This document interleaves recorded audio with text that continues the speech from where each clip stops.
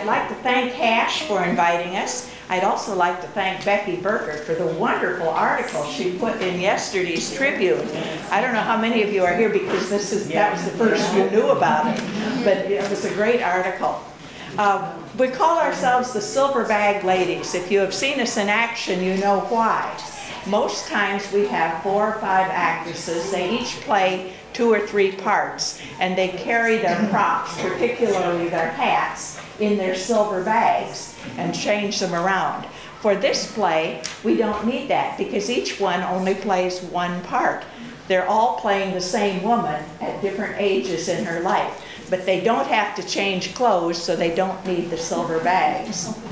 Um, our play is Reader's Theater, which means that they read, actually here it looks like letters that they're writing. The lo lovely thing about Reader's Theater is if one of them faints out here in the closet, we just call somebody in the audience. and maybe that's why you all left the front row.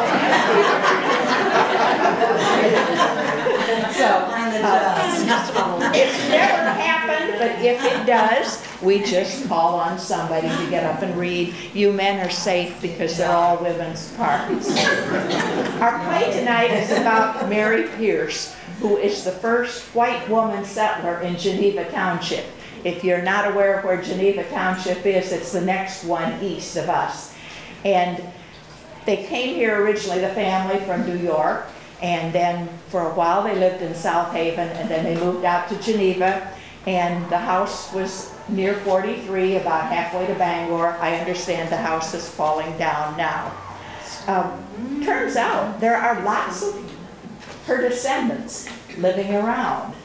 Uh, we have a couple of them here tonight. I don't know whether they're hiding, they're hiding back there in the back. One of them even went to school here in Hartman. Um, so she's got double connection for being here. And we had an email from a man who is a lawyer in New York who wrote with all kinds of extra information about the family so that if we get asked to do this again, we've got more details to put on. His mother was Virginia Brown, who was a member of AAUW and lived over on Pearl Street across from Elaine and West Stevens. Elaine is hiding in the closet here. the cast consists of six members, and I will introduce them now. This is not necessarily the order they will appear in, and afterwards, if you don't know who they are, you can ask. Lois Schwartz plays Mary as a 10-year-old. Melanie Rupert plays her when she's a little older, about 21. Then Ann Hobbick, she gets a little bit older. Then Sue Torp, Elaine Stevens, and Elizabeth Miller. And they will be going in and out, so I don't know who's sitting in the back row, but you may occasionally have to pick your feet up to get out of the way of our actors and actresses. And so, let us welcome the Silver Bag Ladies.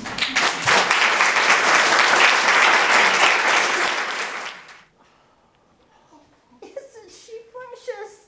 Such tiny hands. And those big eyes, they seem to follow you everywhere. What did they decide to name her? Well, Mr. Roy said that he thought they were going to name her Mary Sarepta. How about that, which is a huge name for such a tiny baby. Well, at least she'll never forget her birthday. July 4th, 1822, Independence Day.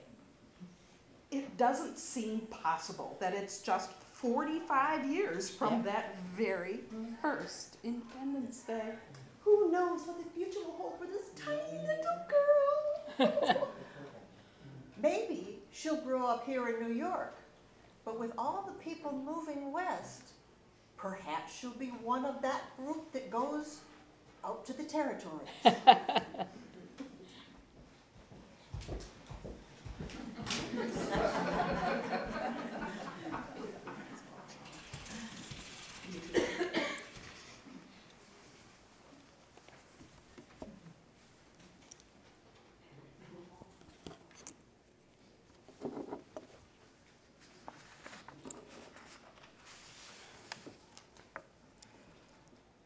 Detroit, Michigan Territory.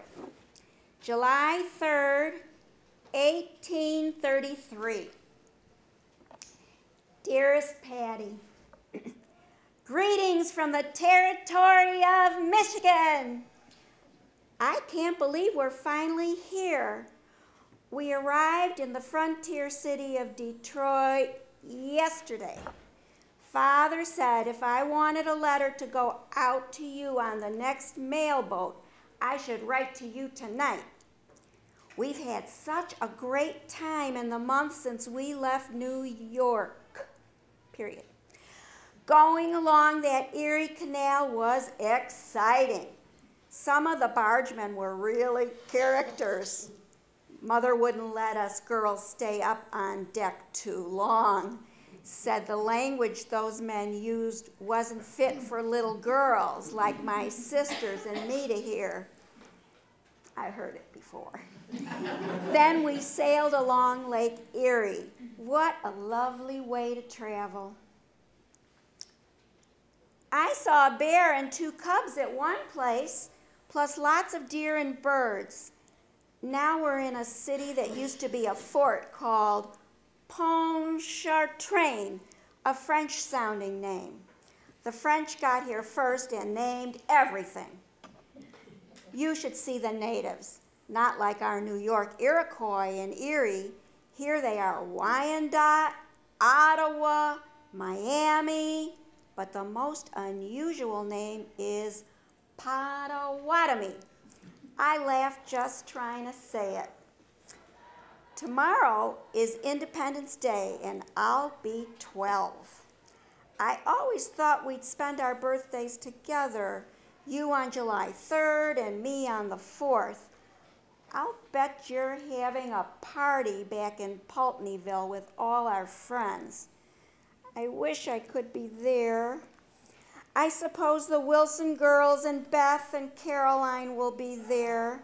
Did your mother make you invite that horrible Billy Andrews and pesty Johnny Clarkson? Every time I mention something back home, Father says, Mary, the future of our great nation depends on citizens moving west. But why does the future of our nation have to depend on me? Tomorrow we leave for Father's new job as postmaster in a little town named Brady. He says the nearest bigger town has another funny name Kalamazoo. Honestly, such names.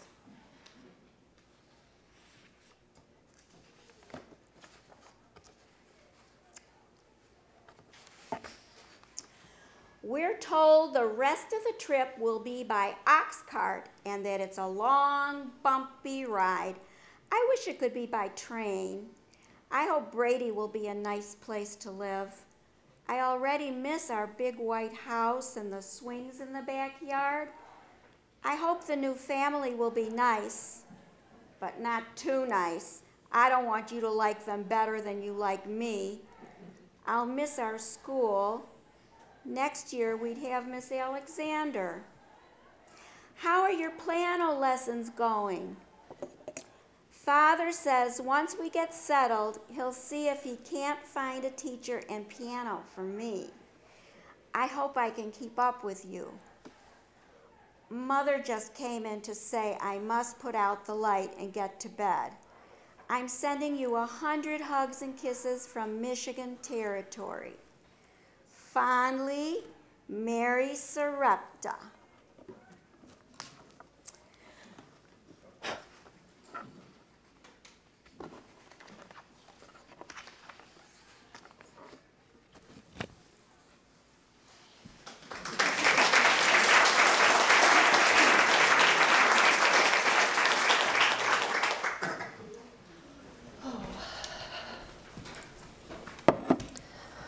Oh my.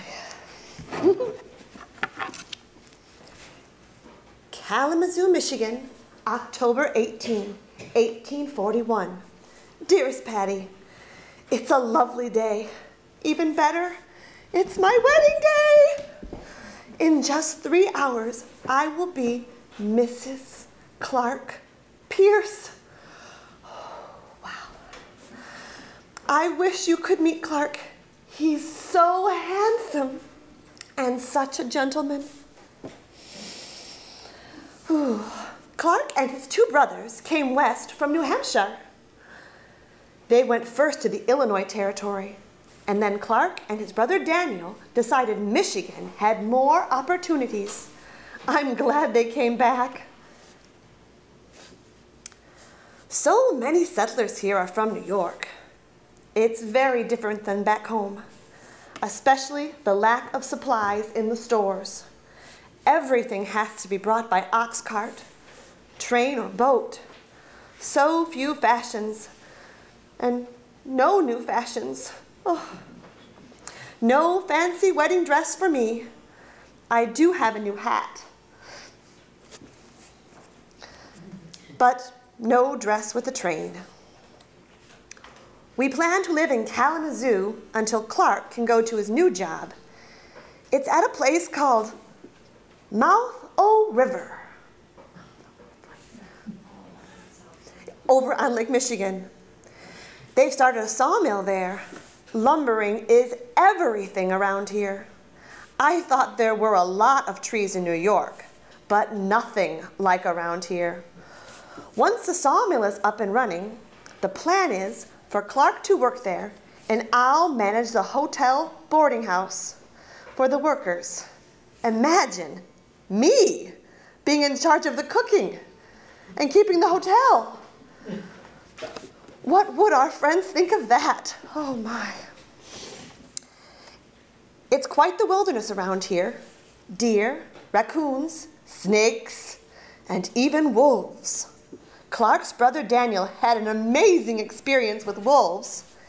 He was out at his farm, and at the end of a morning of cutting down trees, he left his muddy boots outside the cabin's front door and went into the village for supplies. When he got back, his boots were missing. Daniel thought one of the natives must have taken them. But three days later, he caught a wolf in one of his traps, and in its stomach was the undigested heel of a boot. Daniel knew it was his because he'd re nailed the sole a few weeks earlier and recognized the pattern of the nails. you wouldn't believe how men outnumber women around here. Many of them seem to be looking for wives, so tell our unmarried girlfriends.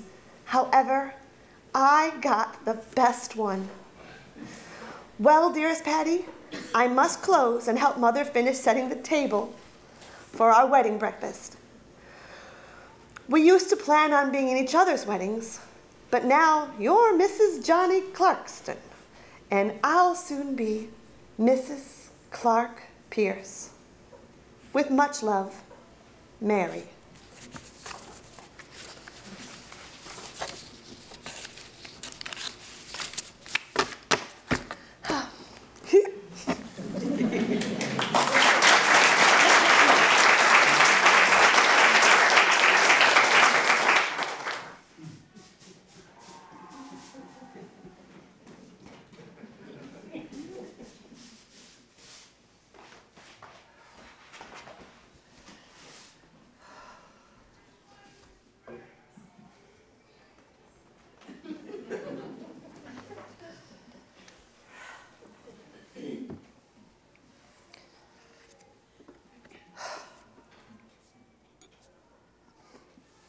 Mouth O River, Michigan, August 1844.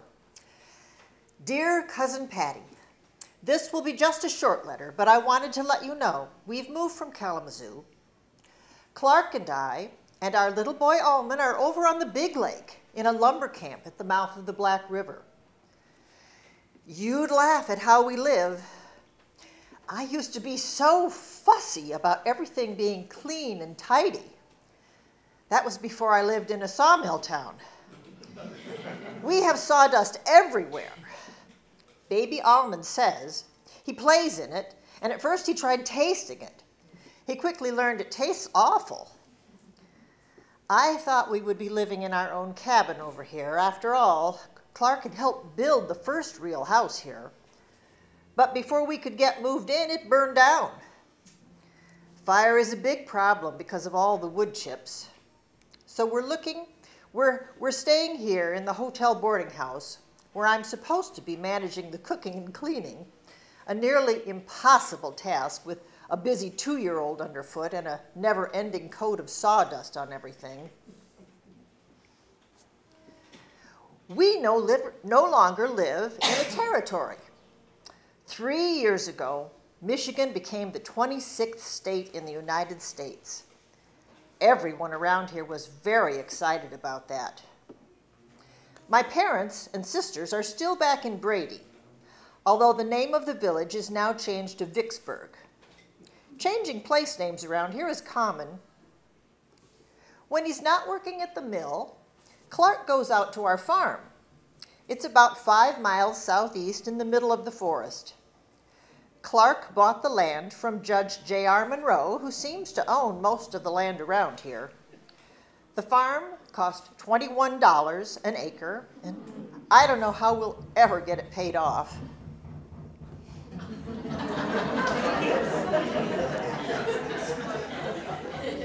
Fortunately, farming and lumbering aren't the only income sources here. Many of the men hunt and trap. The government pays a bounty of up to $12 for a good wolf hide.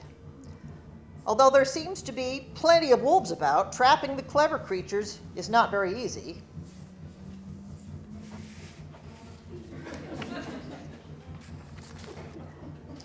I look forward to fall and a frost to kill the mosquitoes. I believe they're as big as hummingbirds. They're a terrible problem. Nothing gets rid of them, even smoke from the fires. Little Almond is covered with bites, which he insists on scratching. I keep him in long sleeves and pants, but the bugs still get him. I'll close now and start the deer meat for stew for tonight's dinner. We seem to eat a lot of venison around here, that and fish from the lake. Wish we could see each other. I'd love to see your two little ones. Which, with much love, Mary Pearce.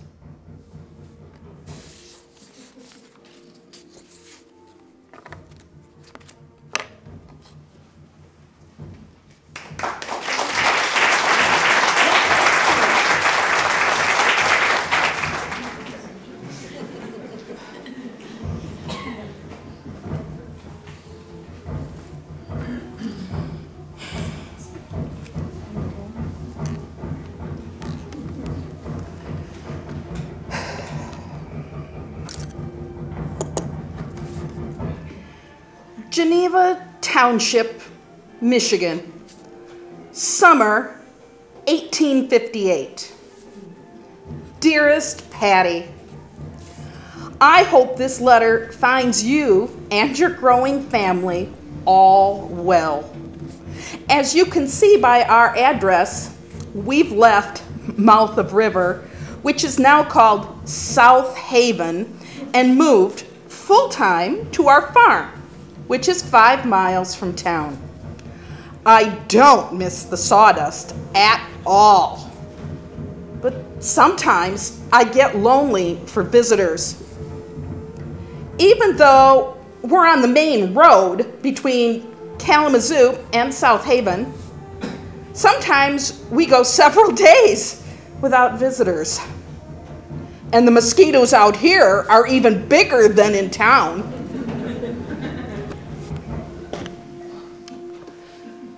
Believe it or not, I was the first woman settler in the township. And our second son, Irving, was the first child born out here. Now, with six children of our own, we make our own little village. You'd be amazed that we can all fit into our cabin. It's really only one room where we cook, eat, sleep, and entertain. Our children sleep in a loft above, although when there are overnight guests traveling through, the girls sleep down here with us, and the visitors sleep up in the loft with the boys. Our little cabin was even the school for three terms until a real schoolhouse could be built. To protect our store of food from marauding possums and raccoons, we even have a root cellar over in one corner. That's also the place we hide runaway slaves. Yes, we're part of the Underground Railroad system. I think Clark and I are the only abolitionists here in Geneva. Of course, there aren't many people here at all. You'll be surprised to learn that I am the one who drives the runaways onto the next safe house. We felt it was less suspicious to have a woman do the driving than a man. Clark didn't want the children to know for fear they'd talk. That doesn't worry me. There are so few people out here. Who would they talk to? I'm pleased to tell you that South Haven now has two churches. Two churches and at least six taverns. that gives you an idea of how civilized we are. The mill workers get paid at noon on Saturday, and by Sunday morning, they've drunk up most of their money. I'm glad for the children's sakes that we're not closer to town. Around here, there's growing debate about slavery and a possible conflict between northern and southern states. It's so good to hear news of you and yours right when you can. I so look forward to your letters. Much love, Mary Pearce and family.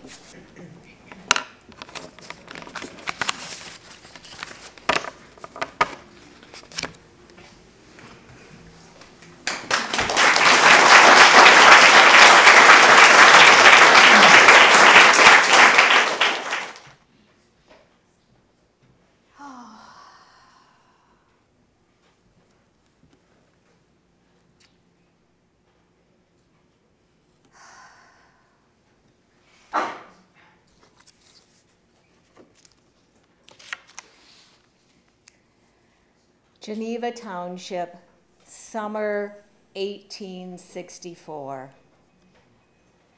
Dearest cousin Patty, these are indeed troubling times. Although all is well here on our Geneva farm, word of the battles fought elsewhere is distressing. Our sons, Alman and Irving, are both with Michigan regiments but letters are few and far between. I pray for their safety and that a solution can be found for our nation's distress. And I pray for poor Mr. Lincoln.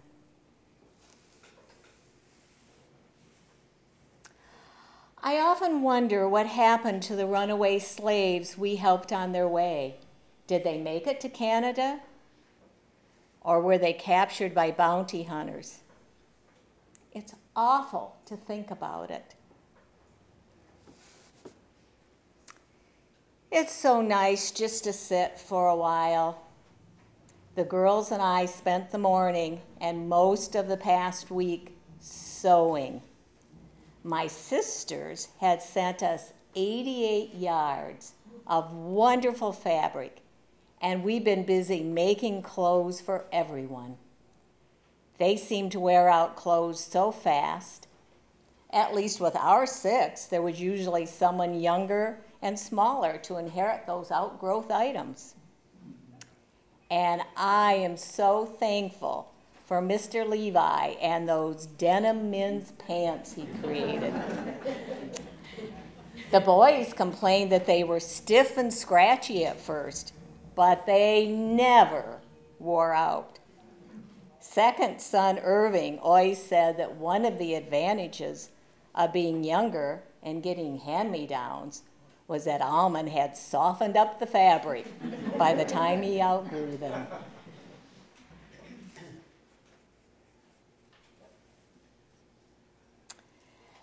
Now they're off to war. I don't know what they're wearing and I worry about them. Are they warm? Are they dry? Do they have food? Are they safe? Will they come back home again?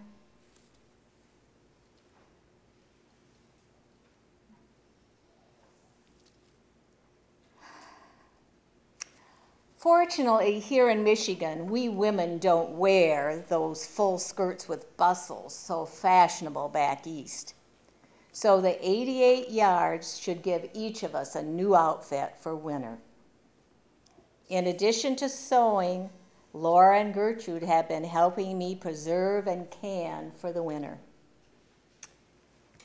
We can buy almost nothing except for shoes, salt, and some of Clark's tools.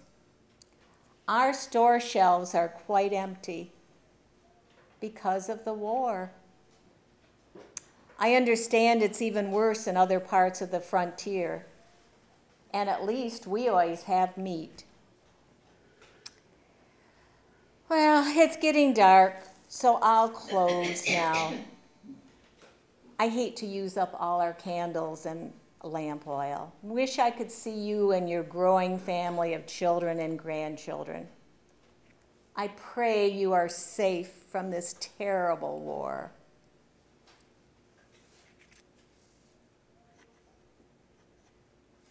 Much love always, Mary.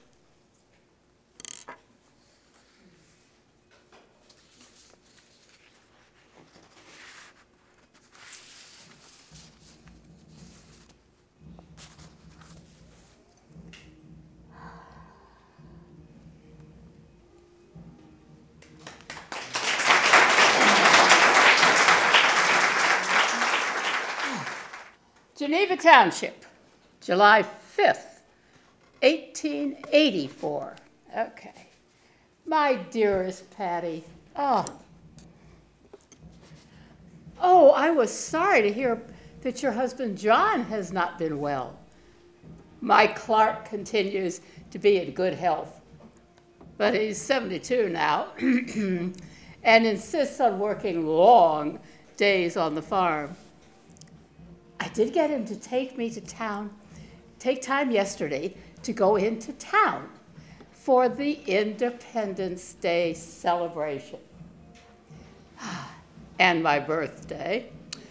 After the speeches and the music, we were all invited back to our daughter Laura's house for lunch. Huh. I am so proud of her. Well, of course, I'm, I'm proud of all of them, but Laura has done so much. She decided at an early age that she wanted to be a teacher and insisted on going off to Ypsilanti to teachers college. Oh, I remember I was so worried when uh, that day putting her on the train oh, from Kalamazoo to Ypsilanti. But she looked too young. But she was so determined. Fortunately, after graduation, she chose to return to South Haven to teach. And there she met and married John Wilcox, a fine man.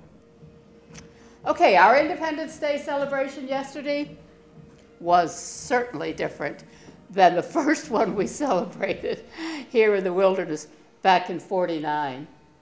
Yesterday, there were about 200 people present.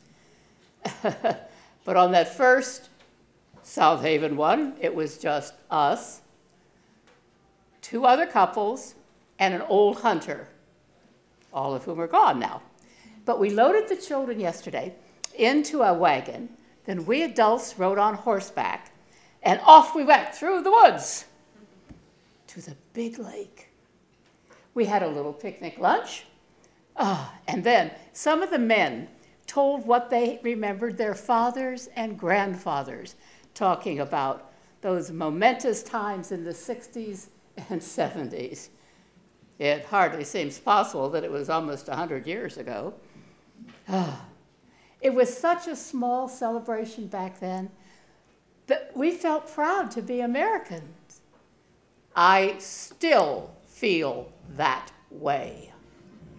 Again, my thoughts and prayers are with you and your family. I, I see Clark coming to take me now to drive us to church. So we'll close this letter. Your very loving cousin, Mary.